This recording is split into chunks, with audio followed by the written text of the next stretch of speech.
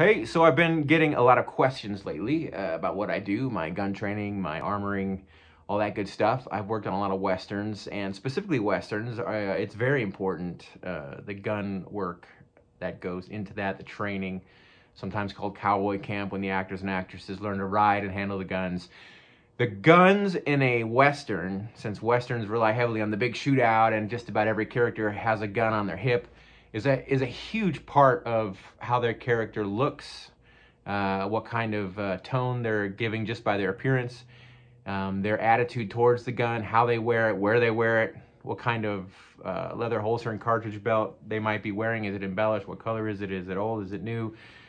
And is it under a jacket? Is it outside of the coat? Or um, there's just so much that goes into it. And then how you hold the gun, how you shoot the gun, how you're casual with the gun, when it's cocked, when it's not, when you present it. There's so many little elements and levels that go into the gunmanship that display a lot of emotion or at least put a exclamation mark or another level of emotion on top of the dialogue. So as important as acting is in a Western, the gun acting, I guess you could say that, uh, is just as important and requires a lot of effort by the actors and actresses. And I've been very blessed to work with a lot of great people and teach them some very cool stuff. So I'm going to start sharing a bit of those stories and how that works on the film industry, uh, in the film industry, in the movie sets and things like that.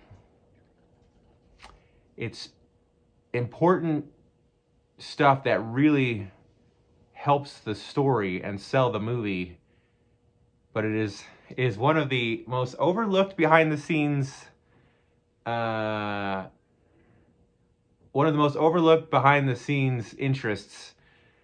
I'm still waiting for Netflix to call me and want to do a little behind the scenes thing, but uh, I'm going to just throw it out there myself uh, because you guys definitely seem very interested and I've been getting all those questions. So we're going to throw that out to you in multiple videos over time. Bear with me. I'm very busy right now on a show. So as I see time and can uh, do little bits. I will uh, make them up, edit them, and throw them out on YouTube. So definitely subscribe. Thank you so much.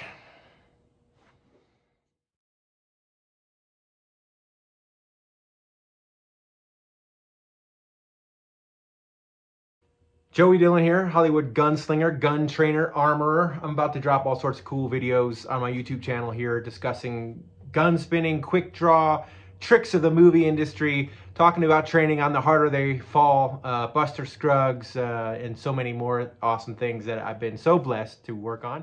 Sometimes I get the opportunity to add some creative input to the shows that I work on, whether it's the right dialogue for what we're discussing or the right calibers or how to talk about the guns in a way that makes sense for the period. Um, and sometimes it's just to solve small dilemmas on getting what the actor wants across to the audience in a way that makes sense as a character that they're supposed to, you know, know everything there is about guns and things. So uh, having a gun background, um, I can sometimes plug in, well, if you do it this way, that might make sense. So the Cherokee Bill bullet in The Harder They Fall. Um, so uh, RJ, who, who plays uh, Beckwourth, amazing talent. He could soak up the gun spinning almost as fast as I could give it to him. Um, we'll talk about some of those tricks and things that uh, we were able to, to come up with for the show.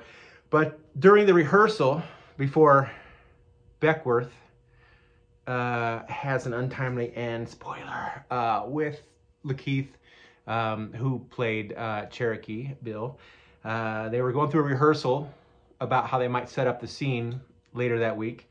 And RJ uh, had a cold weapon, cold weapon, ladies and gentlemen, cold weapon.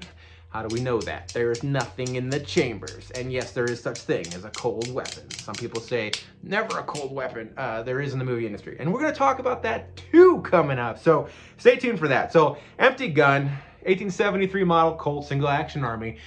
So during the rehearsal, uh, Jeymes, the director and writer, was all up in the face of RJ trying to get some cool ideas for shots. And RJ wanting just, as actors do, some business with the gun.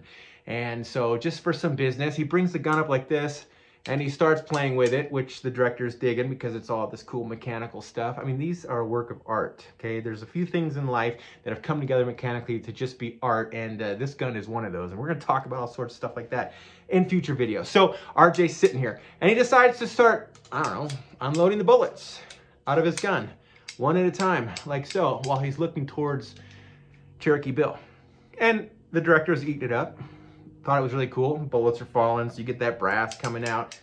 And then the director walked away, got what he liked out of it. They were thinking about, okay, that, that would be cool for the coming the scene coming up. So I walked up to RJ and I said, so what what are you getting across there? Because you're finally facing off with Cherokee Bill, your nemesis, who you've been waiting the whole movie to see who's faster, and yet you're unloading your gun just before the duel. So what are you doing? And he said, well, I just, you know, I wanted some business to do with the gun. Makes sense. Because uh, it's just cool mechanically to make these guns function and stuff, work it. But he's unloading the gun. So his idea was, what I'm trying to say is I don't need all six bullets in this gun to kill you. I just need that one bullet to take you out. And I said, well, that's cool. The audience might not really understand that the way you're doing it, but let me think for a minute. And I thought, oh, a bullet with your name on it, Cherokee Bill. So I said, what if, what if in your belt loop you had a bullet tucked in the front of your holster near the buckle, and then you got to pull it out and engraved on the side because you've been waiting your whole career of a gunslinger to meet Cherokee. You've got Cherokee's name there because you knew someday you'd meet him. RJ loved the idea. He went, ran it up the uh, flagpole to the brass, and uh, Jeymes, the director, totally dug it as well. Uh, so I talked to the prop master, and he thought it was a neat idea.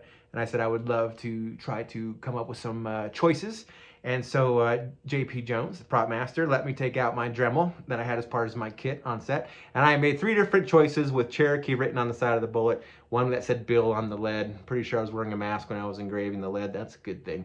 Uh, anyway, so Cherokee, Bill offered up the options. They came up with the one that you see on camera. We get that really cool scene of him pushing the bullet into the gun and uh, that's how the Cherokee Bill bullet came to light in the movie.